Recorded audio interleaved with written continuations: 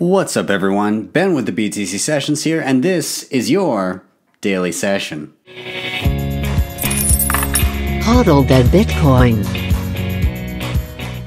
Before we dive into everything, of course, a big shout out to sponsors of the show, Ledn.io. This is where you can use your Bitcoin for a couple of different services, one of which is to obtain a Canadian or US dollar loan using your Bitcoin as collateral, and the second of which is a Bitcoin savings account where you can earn Bitcoin on your Bitcoin as interest. So you can check those down below at the link I provided. If you opt to get a loan, then they will give you an additional $50 worth of Bitcoin into your account using that link.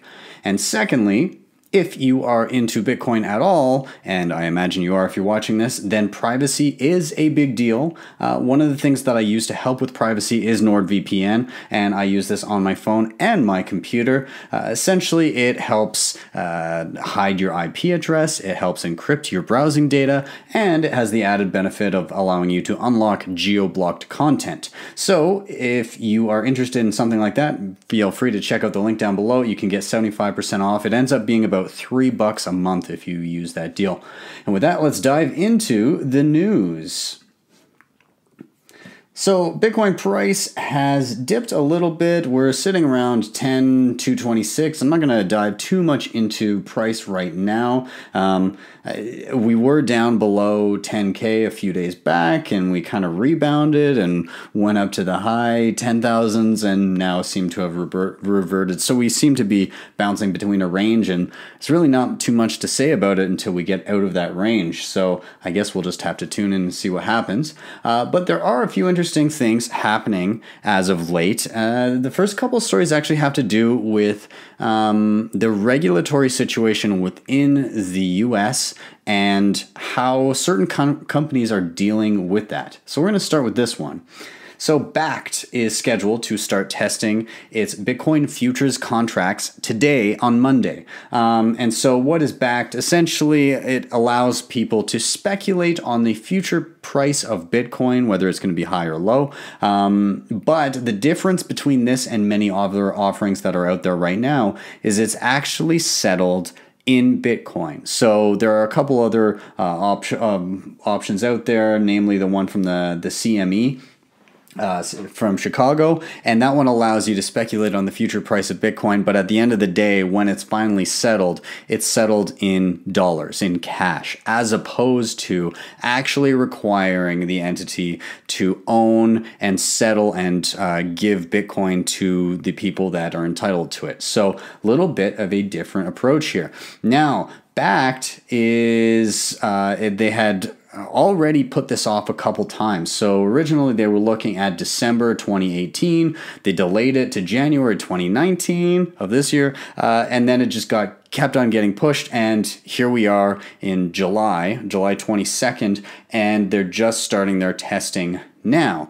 Um, a lot of this was just, again, regulatory uncertainty. Now, we have seen a couple other groups recently get approval to do the same thing that these guys are doing. Uh, Bakkt, I do not believe, has gotten that approval yet. So there is a little bit of a, a roundabout way of doing this. You can do something called self certification if you haven't yet got, uh, gotten approval from the CFTC. Essentially, this is just you verifying yourself, so Bakkt verifying themselves that they are compliant and just moving ahead with the product. And the only way that they could be stopped is if the CFTC reviewed their product and said you are not compliant for some reason. So it looks like they've just more or less gotten a little fed up with waiting and just said, listen, we're fine. We know we're fine. We've seen other people get approval. We're going ahead. You can check it out if you want to, but otherwise, we're just going. Um, so that is an example of, again, the kind of slow regulatory process that takes place in the US and, uh, you know, many other um, countries and how these companies are just they're wanting to jump ahead. They're wanting to actually move on this. And it's just uh, with the way that many things function in the US regulatory uh, bodies it just doesn't work that way. And so companies are looking for solutions. And so this is one. Here's another. So Circle, uh, Circle Pay, they acquired Poloniex a while back, and well, guess what? They are moving all of their exchange operations completely offshore to Bermuda. And again, the reason for this is regulatory uncertainty in the US. So they've just gotten sick of waiting around. They can't do anything. They're moving everything offshore to Bermuda. And they've said that with this, um, they're able to offer a lot of things that they weren't able to offer to the US. And they will likely probably be uh, uh, offering a much more limited experience to any US customers that remain on their platform. Um, so essentially, they, they've worked with the, the Bermuda government to kind of get this going. Um, and so, to, to, quote the article here, it says that they're they're looking for more diverse assets that they would not normally be able to offer. Um, and essentially, they are also looking at yield generating crypto accounts. So, what that means it's up for speculation, but some people are saying perhaps, again, like an interest based uh, savings account, or perhaps even um, something where it has to do with staking coins and you can make money on your staked coins. I guess we will see, but uh, yeah, it's it's pretty clear that U.S. based companies are just not having it anymore and they seem to be looking for alternatives either leaving or just going ahead and facing regulatory uncertainty anyways interesting um, this next little piece here is actually just a summary of a video put together by Simon Dixon. I highly recommend you check it out. I'll link to that video down below.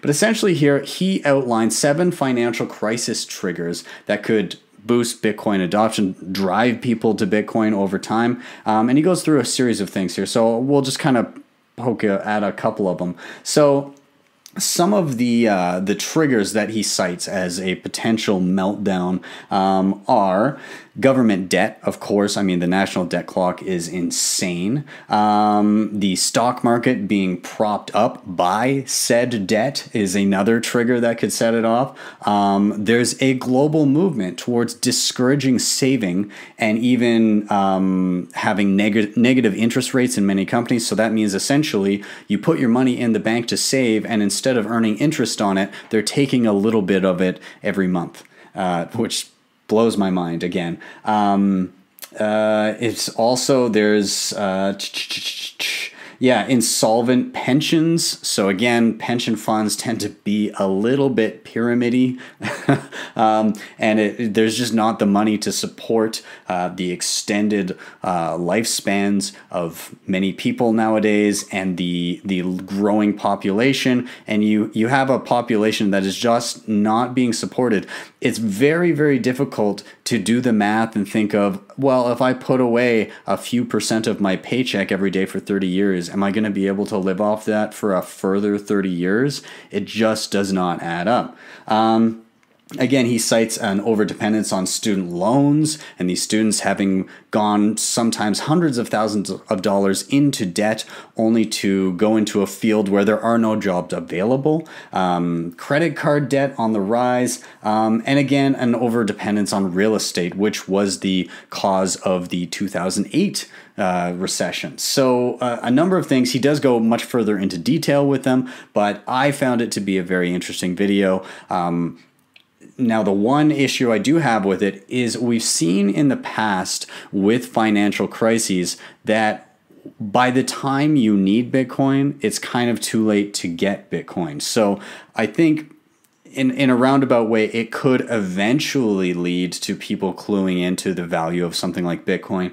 Um, but it's going to take them getting hurt in order to realize it. So, you know, in Cyprus during the, the banking, the Cypriot banking crisis, people didn't realize they needed Bitcoin until it was too late, until their, their savings were, were completely gone. Same within Greece, when there was the Greece banking crisis and people could only take out 40 euros a day. Well, at that point, you literally need all of the money that you can get out of the bank that day just to survive, just to get your food and and pay whatever expenses you have to pay.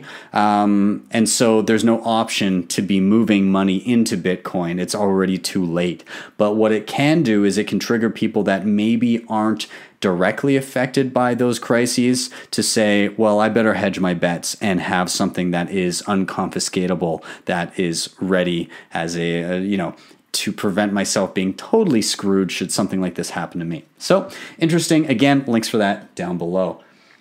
The last thing I wanted to touch on here is again a, kind of a silly article because it's based on a couple tweets. But um, Saifedean, uh, author of the Bitcoin Standard, he was replying to a tweet. Um, he uh, somebody said, who was it? Uh, Blockstack CEO uh, he said that uh, you can be long on Bitcoin and support other innovations in crypto. Crypto is not a zero sum game. Now, Saifedean did come back and say that uh, he, he essentially said that any um, investor who is not holding Bitcoin has already lost the battle, and uh, cryptocurrency is indeed a zero sum game. If you're not in Bitcoin, you've already lost. Um, so, not everybody agreed with him. Obviously, you have uh, Shapeshift CEO Eric Voorhees chipping in. He said, This is just not true. One chain cannot optimize for all variables and all desired attributes of a digital asset. Thus, multiple will exist. And further, while, uh, while in part competitive, they are also in part complementary and constructive. Only BTC is a weaker landscape. So, when I look at stuff like this, I in the short term, I guess I get it. I'm people are impatient. They want to do what they want to do now. So when it comes to something like privacy, you can get a degree of privacy using Bitcoin um, if you go through things like like CoinJoin or like Whirlpool, and you pay attention to a lot of stuff like utilizing Tor and utilizing a VPN and uh, things like that, where you have to be quite careful and you have to be conscious of it regularly. Um, however, I could see that being a bit of a daunting task to somebody, and maybe they just want to utilize a coin that just has privacy baked right in. Now, do I think it's going to get easier with Bitcoin? Absolutely. Things always do. It's more of a patience thing. Uh, the same thing could have been said a couple years back with cheaper payments. When shit hit the fan at the end of 2017 and everything was skyrocketing and people were not utilizing the bitcoin blockchain in a an efficient manner. They weren't batching transactions. They weren't using segwit. By and large anyways some companies were very proactive on that but others were not. And because of that blocks were super full. Fees had skyrocketed to you know all-time highs. And and people were saying, well, Bitcoin can clearly never be used for payments. Fast forward, even in times of absolute, uh, you know, full blocks where a lot of people are get, trying to get through, you you see that the fees are nowhere near the levels that they were back in the peak at 2017. Uh, furthermore, we have options now. We have Lightning Network. We have multiple uh, mobile wallets for Lightning. You have solutions that are custodian, non custodial, and somewhere in between. You have a lot of options popping up on the market. And so I do kind of see this as you know, I, I'm, I'm a firm believer that Bitcoin is what matters, and that's where the innovation lies. And I do think that the innovations that people demand will be implemented on Bitcoin. However, I do see that people are impatient. Again, it's it's kind of that time preference, um, you know, that that high time preference that some people have where they need it now. Um, and I don't think that's a bad thing when it comes to driving innovation. Sure, go experiment, create things, but I think in the long run, regardless, you're going to have this kind of base layer of value atop which different protocols are built for different purposes. And I do think it will kind of coalesce all on that one asset.